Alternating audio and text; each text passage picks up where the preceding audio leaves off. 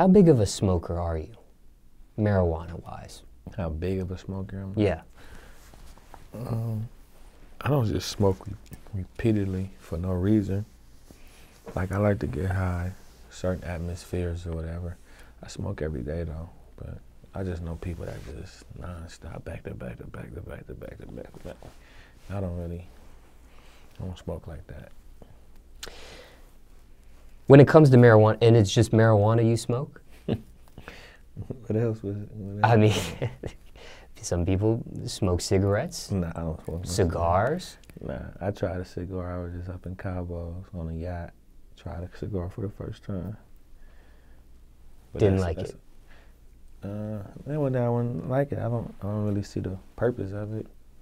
You know what I'm saying? Because tobacco is different between tobacco and marijuana. But uh, yeah, that's all I smoke is weed. And there's other more intense things one can smoke. Never got that far. No, Nah. no crack or nothing like I that. sold too much crack, bro. to smoked that shit, bro. I'm not. Now, um, when it comes to smoking, uh, smoking marijuana can do different things for different people. Even though you don't smoke like e- every single moment of your you know day, Yeah. what does it actually do for you specifically when you do do it? Uh, you know, it's, it me to me it give me like a mellow effect. You get what I'm saying? Just I begin I begin super high when I'm in the, in the studio working and shit like that. You get what I'm saying? It like mellow me out. Like, Do you have a favorite strain to smoke? right now I've been off my own strain, the Killzone Gelato 59. I like gelato though. I was fucking with gelato 41, gelato 45. I like cookies too though, Kush. When it comes to having your own strain, and you say you have your own strain, Yeah. is that something uh, maybe a, a, a somebody with a business idea brought to you and said, "Hey, we have this going on. We want to attach your name to it, make it your own strain," or is that something you sought out to do yourself? Something I brought to them. Yeah. Something I brought to them. Can you explain your strain? Um, I mean, if you, it's actually, it's like if you smoke, if you smoke gelato, like basically, I just put the number on it, the five nine, because I was smoking the gelato forty one and forty five, so mine, I'm like, man, because you know everything I do, I do for my like everything I do, I do for the hood. So like with even with the kill zone, that's the name of my, of my neighborhood. Ah, And then Gelato five nine, five nine. That's the the numbers from my hood. You get what I'm saying? So I just put that twist on it. But it's a strong designer. Gas. You get what I'm saying? We have a nigga high as shit though. Everybody been trying to get that shit in the bay. Shit available at the green door though. when you smoke marijuana, how do you smoke it? I'm from East Oakland. I still smoke swishers, but I smoke backwoods also. I don't really be tripping, but everybody from my neighborhood really still smoke swishers. Do you remember the first time you ever smoked marijuana? Mm-mm. First time you ever got high from marijuana? Don't remember. I don't remember like how old I was. I remember what happened. I was hella high. I went in my little cousin room, and, uh, locked the door, went to sleep, and woke up. Like I like I was too high. You got high the first time you actually smoked? Because some people don't. They don't do it properly. Yeah, yeah. I They was- smoked the I was first high time. as shit because it was just like one blunt, like he was blowing. He was blowing, so I was high as shit.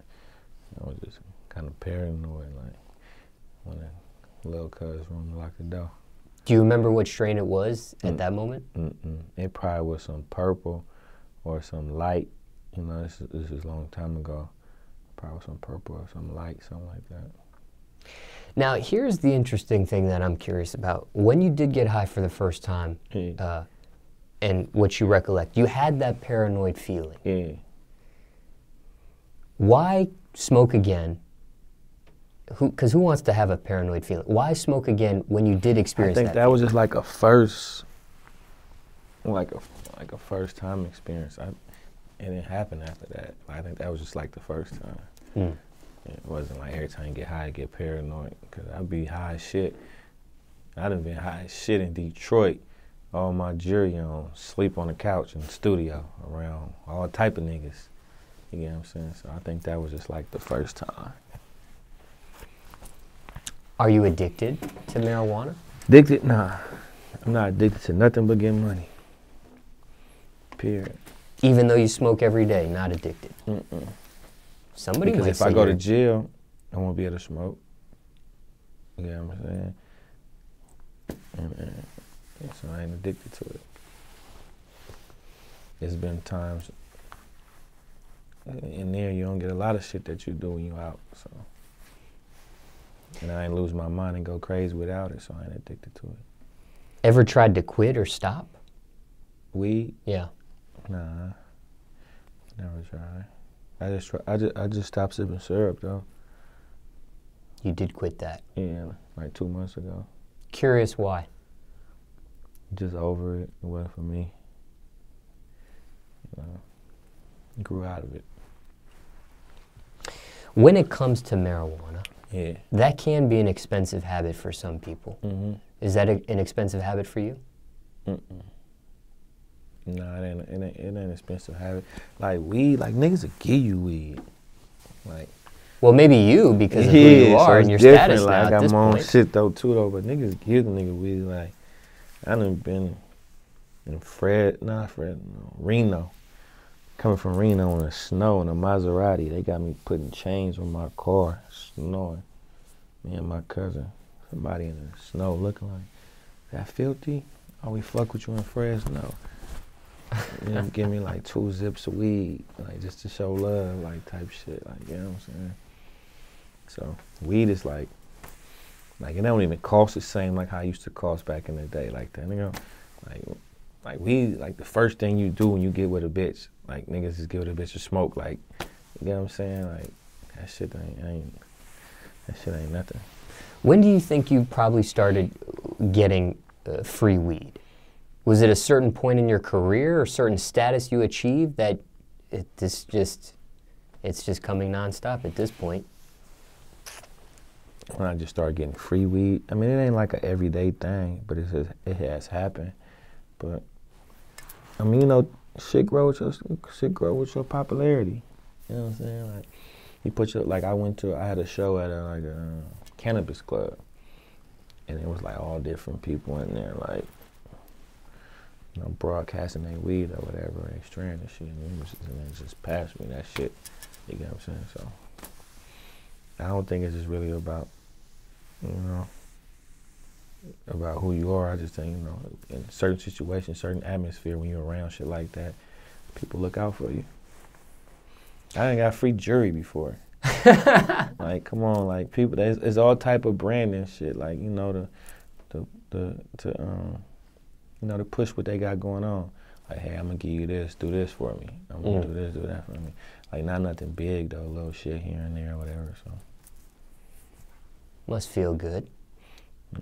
Like I had to find out, like even with the clubs, the clubs when niggas be talking about, yeah, I went in the club and threw thirty thousand. Like I know street niggas off the corner that's doing that, but not like rappers.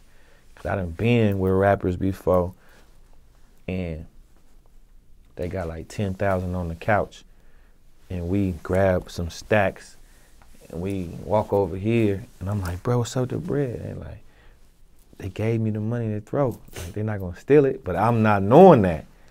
You get what I'm saying? I didn't know that. I'm, I just think, think the nigga just forgot forgot his money.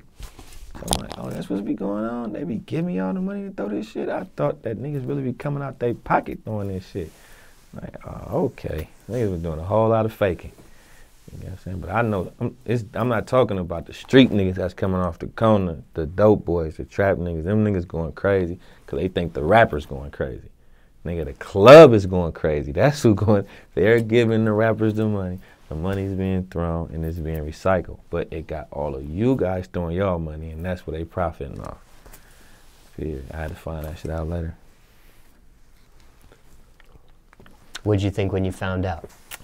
I'm like, oh, it's all type of little tricks and crazy and this shit. Like I ain't know. I'm like that's crazy.